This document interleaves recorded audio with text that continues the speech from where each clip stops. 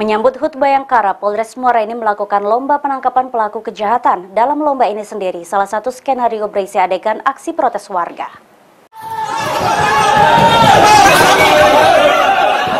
Diwarnai layaknya penangkapan yang sebenarnya, personil Satreskrim Polres Muara ini mengamankan satu tersangka tindak kejahatan dalam lomba yang dilakukan oleh Polres Muara ini.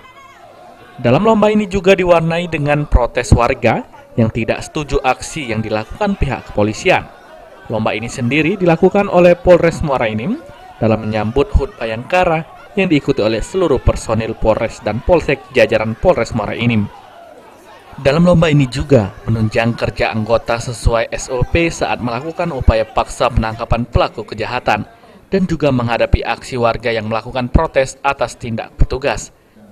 Dari Polres Muara Enim khususnya Satreskrim Polres Muara Enim mengadakan perlombaan untuk menghadapi 1 Juli dari Satreskrim Polres Morenim mengadakan lomba penggerbekan dan penangkapan atau upaya paksa dari fungsi reskrim.